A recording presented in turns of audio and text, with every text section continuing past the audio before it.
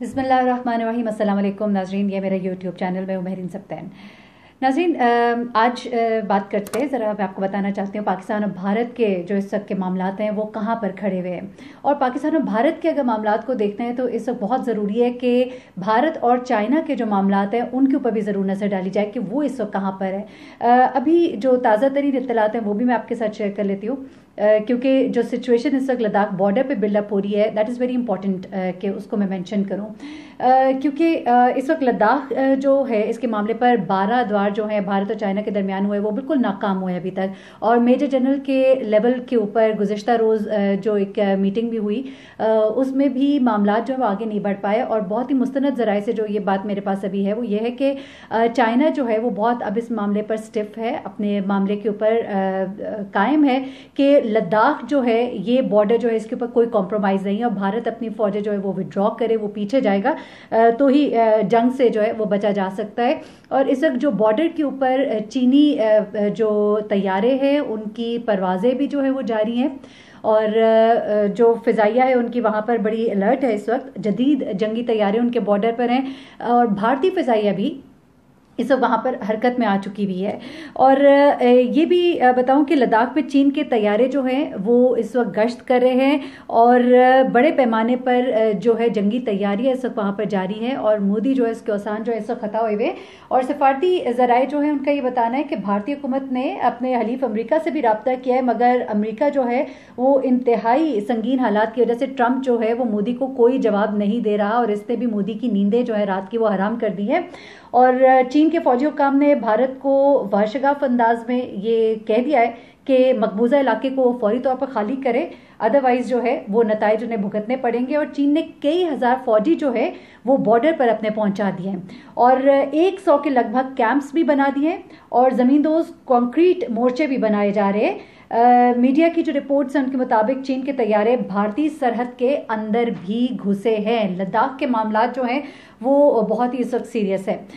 लद्दाख के मामले पर जब मैं बात कर रही हूँ तो लद्दाख के साथ ही जुड़ा हुआ है गिलगित बल्तिस्तान। जी हाँ गिलगित बल्तिस्तान के ऊपर बहुत ही इंपॉर्टेंट आपको मैंने कुछ बताना है, क्योंकि वो रास्ता जो गिलगित बल्तिस्तान को जाने का है, उसके ऊपर भारत जो है, वो क्या करना चाहता है, ये मैं आपको बताऊँगी। अभी गुजशत दिनों आपने देखा था कि पाक फौज के तर्जुमान मेजर जनरल बाबर इफ्तार ने भी जो भारत के इकदाम और उनके जो खुद साख्ता ड्रामे उनकी तफसील बयान की थी। जिन्हें देखते हुए ये यकीन करने के सिवा कोई चारा नहीं है कि भारत पाकिस्तान के खिलाफ मुहिम जोई पर तुला हुआ है और इसकी वजह ये तारीखी हकीकत है। आपको मालूम है कि जब भी नई दिल्ली के जो हुक्मरान है, उनको कोई भी दाखिली तौर पर मुश्किल का सूरत हाल का सामना होता है तो अपनी भारतीय रायामा को तब्दील करने के लिए, आलमी बरदरी की तवज्जो को हटाने के लिए वो ये तरीका इख्तियार करते हैं। पुलवामा टू में तो दिन की रोशनी में उन्होंने जिस तरह से मुश्तबा करार दी गई, गाड़ी को तबाह किया था, उसके शवायद मिटाए थे तो that is very very evident इस वक्त जो सूरत हाल है उसको भी थोड़ा सा देखते हैं क्योंकि इस सूरत हाल से जुड़ी है अगली सूरत हाल जो मैं आपको बताने जा रही हूँ which is very very important मकबूजा Kashmir में uh, जो पाँच अगस्त दो हज़ार उन्नीस से ये जारी लॉकडाउन है वेशियाना मुजालिम है जिनके अलावा uh, जो खुद भारत के अंदर मुख्तलिफ़ जेलों से जो मुसलमानों को तशद का निशाना बनाया जा रहा है शहरीत का जो मुतनाज़ कानून है उसके जो संगीन असरात हैं उस पर फिर दुनिया भर से जो मजम्मत की आवाज़ें बुलंद हुई यहाँ तक कि अकवा मुतहदा के जो इंसानी हकूक कमीशन की तरफ़ से भारतीय सुप्रीम कोर्ट जो है, उससे भी रुजू किया जा चुका है। अब चीन ने क्या किया कि भारत को मुतनाज़ इलाके में दखल अंदाजी पर तो वहाँ से भगा दिया। लेकिन चीन कुछ और तैयारी भी कर चुका है। वो तैयारी जो है, वो ये इस वक्त आपको दिखाई दे रही है। और अमेरिका, जिसने इसराइल के मेलजोल के साथ भारत को चीन के खिलाफ इस्तेमाल करना जो चाहा था तो उसको लेने के देने पड़ गए हैं। और आप देख लें कि मोदी जो है, वो सख्त परेशान है और ट्रंप जो है वो बिल्कुल पलट गए हैं। इस वक्त वो कोई जवाब नहीं दे रहे उसे। और अपनी जगह अमेरिका इसराइल और भारत तीनों का ही इसमें नुकसान भी है वाज नुकसान है। अच्छा अब ये जो रसवाई है, पैदर पे शिकस्त है तो इसके बावजूद भारत ने नई दिल्ली में पाकिस्तानी सिफारती अमले के दौरकान को भी गुजशत दिनों, आपको मालूम है कि तशद का निशाना बनाया, उन्हें नापसंदीदा करार दिया और भारत छोड़ने का हुक्म भी दिया, और तमाम सफारती आदाब और कवानीन की धज्जियाँ बिखेर दी। इसके साथ फिर अगर आप आगे देखें तो एलओसी पर पाकिस्तान के शहरी इलाकों पर गोलाबारी सिलसिला जारी है, उनके कॉटकॉप्टर्स हमने मार गिराए हैं, वो भी उनके लिए एक शर्मिंदगी की वजह है। वो शर्मिंदा ना हो तो एक और बात है। दूसरी तरफ़ मकबूजा कश्मीर में भारतीय मजालिम जो है, उनका सिलसिला जारी है। नाम नेहाद ऑपरेशन के नाम पर कश्मीरी मुसलमानों के घरों में वो ज़बरदस्ती घुसकर तलाशी करते हैं। उम्र रसीदा और बुज़ुर्ग कश्मीरी मुसलमानों को कोरोना के मुतासरीन करार देकर उन्हें पकड़कर क्वारंटाइन मरकज़ के नाम पर जो अकूबत खाने हैं, उनमें रखा जाता है। जहाँ पर इलाज तो होना बहुत दूर की बात है, उन्हें खाने पीने के लिए भी कुछ नहीं दिया जाता, सफ़ाई के भी इंतज़ाम नहीं है।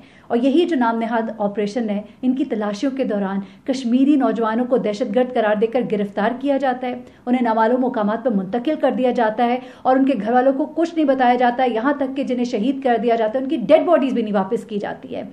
तो ये सब कुछ है जो भारत इस वक्त कर रहा है। और इस सबसे नज़र हटाने के लिए, क्योंकि आलमी बरदरी की तरफ़ से बहुत उसके ऊपर थू थू होती है तो फिर वो इस तरह की हरकतें करता है। पाकिस्तान के साथ दरअंदाजी करता है। आप देख रहे हैं जैसा लद्दाख के मामला है, चीन के साथ। हर बॉर्डर के ऊपर इस वक्त भारत जो है, वो आपको सरगर्म नज़र आ रहा है। मकसद क्या है, ये अभी मैं आपको आगे बताऊँगी। अब भारत की जो अंदर की सिचुएशन है ना, थोड़ा इसको जानने की ज़रूरत है, क्योंकि बड़कियाँ तो बहुत मारी जाती है। हमारा, हम दिफाई तौर पर बहुत मज़बूत हैं, दिफा के ऊपर एक बहुत बड़ा बजट है जो उनकी तरफ़ से लगाया जाता है, लेकिन सरहद पर भारत की जो कमज़ोर पोजिशन है, वो सबने देख ली है।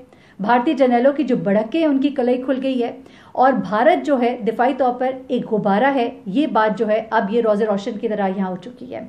अब भारतीय फौजी जो है, बशमूल उनकी फिजाई, उनकी बहरी अफवाज, उनमें लड़ने की सकत नहीं है। ये तो कंफर्म हो गया, दिखाई दे गया, जो कुछ उनके साथ बॉर्डर पर हुआ है। मकबूजा कश्मीर में जो मुतद फौजी उन्होंने जो खुदकुशियाँ की, ये भी सबको मालूम है, किस तरह से फौज उनकी डीमोटिवेट हो रही है और मोदी सरकार इन फौजियों को चीनी और पाकिस्तानी फौजियों के सामने ला खड़ा करता है। तो ऐसी डीमोटिवेटेड फौज जो है, उसकी मार तो बनती है और मार वो खा भी रही है।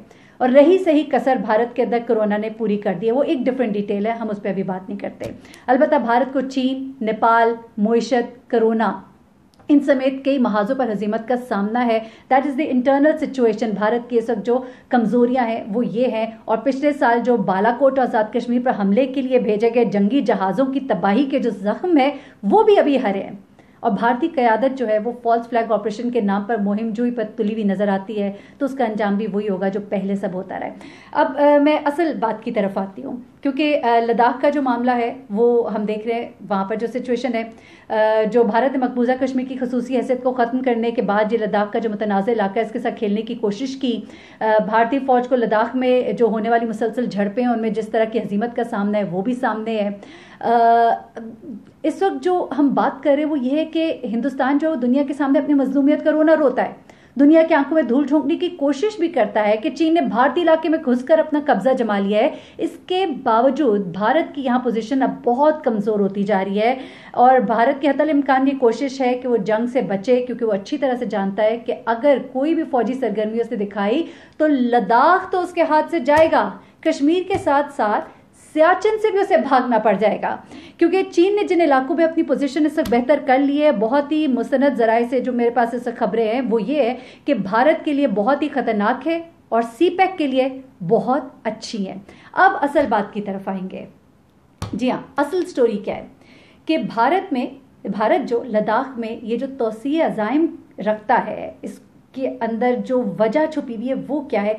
असल हदफ जो है, वो सी पैक है। जी हाँ सीपैक है, जो गिलगित बल्तिस्तान से गुजरता है और भारत गिलगित बल्तिस्तान को हथियाने के लिए बहुत ही बेचैन है। इसका मरकज एक छोटा सा कस्बा है, दौलत बेग। जी हाँ दौलत बेग है, जो अक्साई चिन्ह में वाक़ है, जो कि पाँच हज़ार से ज़्यादा मीटर बुलंद है। और ये दौलत बेग जो है, एक हिंदुस्तान की बहुत ही अहम पोस्ट है। ये चीन की जानब से एक पुरानी शाहरा रेशम को जोड़ती है और 1962 में इंडिया चीन जंग के दौरान भारत ने यहाँ पर मिलिट्री बेस बनाई थी। अब ये कराकुरम पास से कोई तकरीबन आठ मील पर है जिससे बासानी आप गिलगित तक पहुँच सकते हैं। गिलगित तक रसाई का ये एक आसान रास्ता है।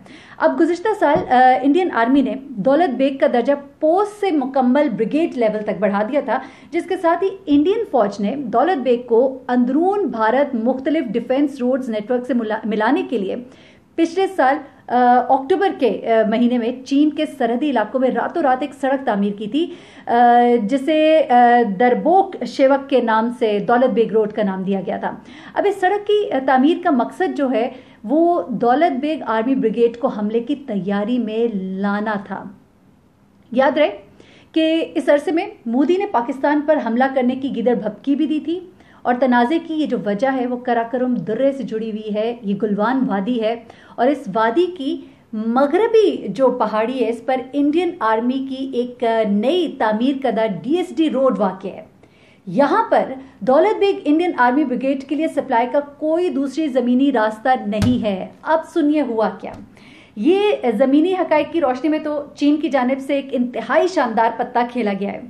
चीन जो है अपने पाँच हज़ार फौजियों के साथ गलवान में आ बैठा है और अब भारत के पास यहाँ तक पहुँचने के लिए सिर्फ़ और सिर्फ़ हवाई रास्ता बचा है। चीन ने अपनी फौजी पोजीशन जो है लद्दाख के इलाके में हिंदुस्तान की फौज से बहुत बेहतर कर ली है, ये मैं आपको बता रही हूँ, और फैसला कन बना ली है। जी हाँ फैसला कन पोजीशन बना ली है और दौलत बेग ब्रिगेड जो है वो खौफनाक ट्रैप में आ चुका है। और इसके नतीजे में गिलगित बल्तिस्तान और सीपैक रूट पर भारतीय कब्जे का जो ख्वाब है वो चकनाचूर हो गया है। दर हकीकत भारत एक बहुत ही गहरी दलदल में फंस चुका है इस वक्त।